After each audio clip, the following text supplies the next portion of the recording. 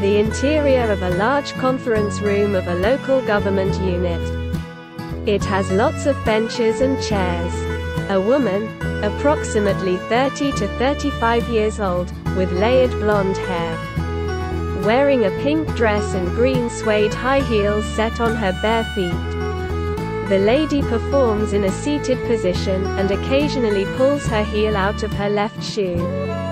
A popular sweetener linked to an increased risk of heart attack and stroke for years, much has been said about the harmfulness of sugar and its disastrous effect on our body.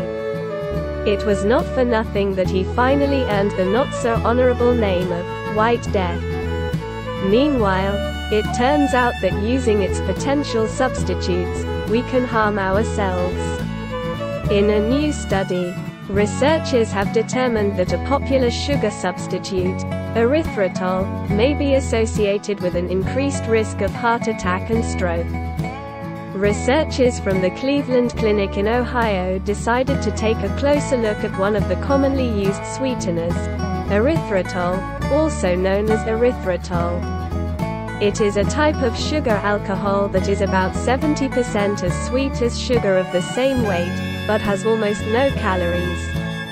Interestingly, it also occurs in the natural environment, e.g. in some fruits, such as grapes and even in mushrooms. It is also produced endogenously in the body.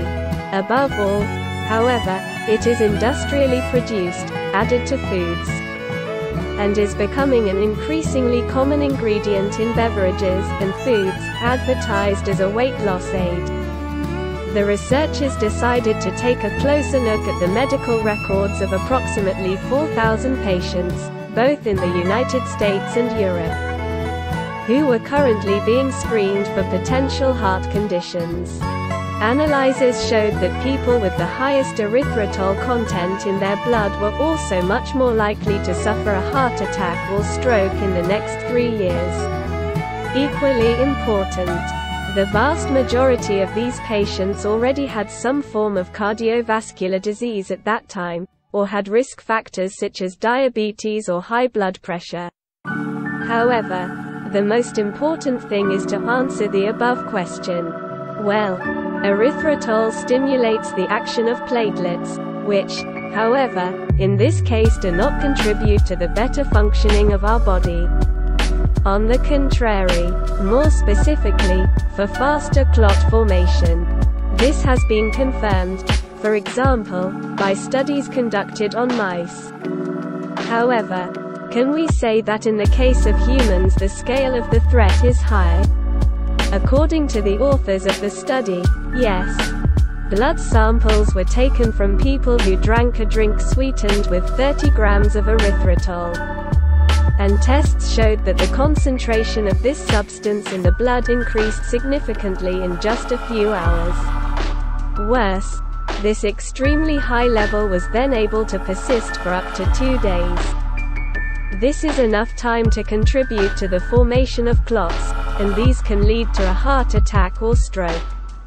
It should be noted, however, that the analyzers carried out were not free from defects. First of all, they were conducted in people over the age of 60, who, due to heart disease they suffered from, even without erythritol, were at a higher risk of both heart attack and stroke. Moreover, while the study found some link between clot formation and erythritol, it did not show that the compound actually caused strokes and heart attacks in humans. Laser-powered nuclear fusion research. Breakthrough results in this field of science. The experiment with laser-powered nuclear fusion and the results obtained by a team from the U.S. Lawrence Livermore National Laboratory are groundbreaking. They represent a milestone in the work on inertial thermonuclear fusion. The United States Department of Energy announced on Tuesday that the National Ignition Facility, NIF, operating in California, managed to achieve a positive energy balance in the process of thermonuclear fusion using high-power laser radiation. According to the scientists, This is a crucial moment, the first step towards achieving an energy source that will revolutionize the world. Detailed scientific data is currently being analyzed. But we can certainly talk about very good news. The energy generated in the fusion reaction was greater, 3.15 megajoules, than the energy supplied to the fusion fuel, 2.05 megajoules. The conducted experiment and the obtained results are groundbreaking in this field of science and constitute a milestone in research work on inertial thermonuclear fusion where, using strong laser beams, it is possible to compress the thermonuclear fuel precisely enough to make the fusion process as effective as possible. The NIF conducts research on thermonuclear fusion triggered by powerful lasers which is slightly different than in most experimental research conducted in Europe in the version with magnetic plasma confinement. We can say that there are two branches of work on thermonuclear fusion. We are talking here about fusion devices, in which the initiation of synthesis takes place quite differently.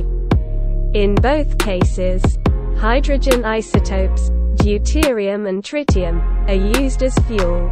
In one, the power of powerful lasers is used, as in NIF, in the other, a magnetic trap, tokamak and stellarator devices, in which a rare plasma circulating inside the device is enclosed. As a result, the synthesis processes are slower and less dynamic, which makes them easier to control. The ultimate goal of both types of experimentation is to generate energy for humanity. Fuel resources, hydrogen isotopes, would be almost inexhaustible in practice. And the amount of waste is to be much smaller than in the case of typical nuclear power plants. However, that will have to wait. In both cases, scientists still have a lot of work to do as the road to building a commercial fusion power plant is still quite complicated. The latest experiment, however, has shown that it may be feasible to create it on the basis of inertial fusion, i.e., powered by lasers. At the same time, it is worth mentioning the recent success of experiments conducted in Great Britain, in the JET, Joint European Torus, tokamak device where a positive energy balance was also obtained. Great hopes are attached to the European program Eurofusion and, in the future, to a new tokamak called ITER. In Europe, research on fusion into tokamak devices, i.e. magnetic confinement of plasma, dominates. Both approaches, lasers and tokamaks, require overcoming countless challenges. The experiment just described at the NIF is a bit like trying to hit a peppercorn with 192 pins, so that all the pins hit at the same time, without piercing the grain. But compressing it with perfect precision to a very high density, so that the desired reaction occurs in it. This is only a very general attempt to illustrate the process, and due to the high inaccuracy and emerging instabilities in the case of the NIF experiment, special hohlraum type targets are used. They use the indirect interaction of a laser beam with an example of pepper through a gold cylinder where the laser hits and generates strong X-rays that compress the fuel. Unfortunately, when it comes to forecasts, it is currently impossible to determine the time when the first power plant could be built and what technology it will be based on. The experimental research device, the European ITER tokamak, was supposed to operate for several years, but due to the need to conduct additional research and the scale of the project, its launch is postponed but construction is well advanced and the first plasma is expected around 2025-26. There are many reasons. The technological challenges are huge and practically all branches of science are involved in this type of projects.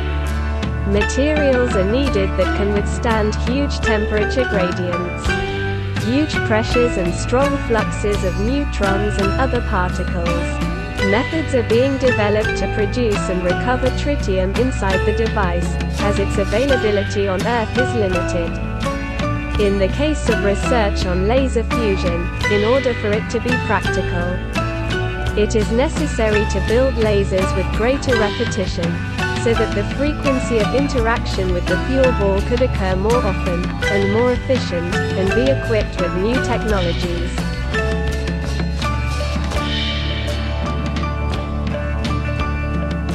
However, the challenges are not only technological in nature.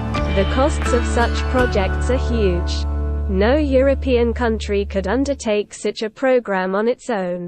That is why, for example, many European countries participate in Eurofusion and also non-European countries in the ITER project.